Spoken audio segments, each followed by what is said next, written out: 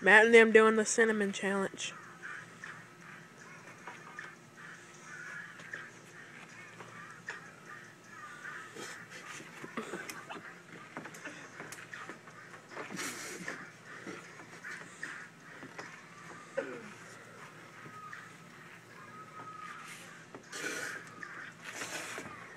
I need to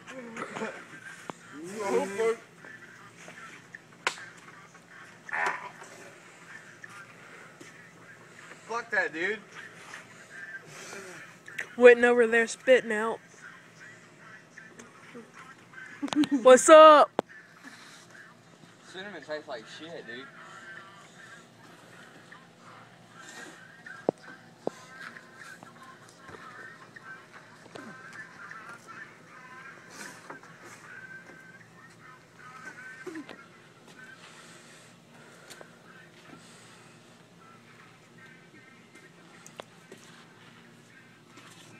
It was good.